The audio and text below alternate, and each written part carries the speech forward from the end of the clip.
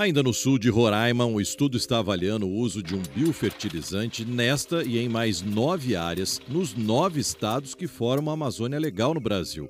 O uso de nanotecnologia está sendo testado em diferentes tipos de plantio para verificar quanto é possível acelerar o crescimento de árvores típicas da Amazônia, como a castanheira. Uma planta capaz de crescer mais rápido também pode capturar mais carbono da atmosfera e amenizar o aquecimento global.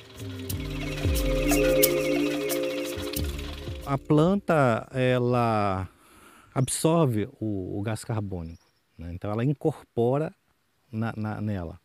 Então a, a, árvore ela tem essa particularidade porque ela incorpora por um longo período de tempo, diferentemente de outras culturas.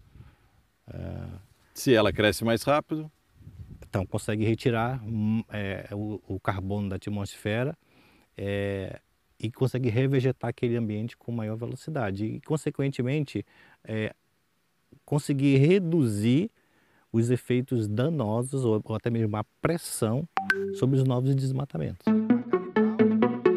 O João, que cedeu a área para o experimento, também é professor na Universidade Estadual de Roraima.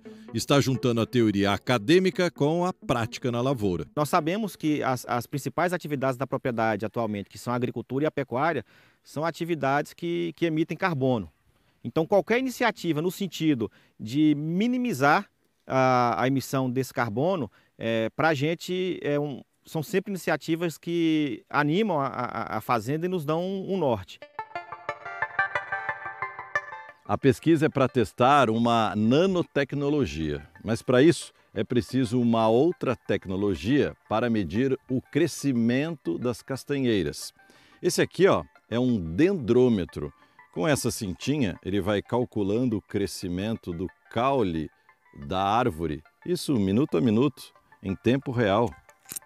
Sabe onde essa tecnologia foi desenvolvida?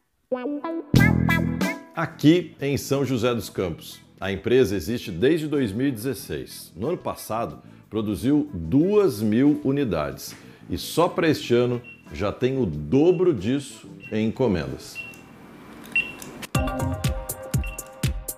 Para abastecer o projeto na Amazônia foram enviados 600 equipamentos.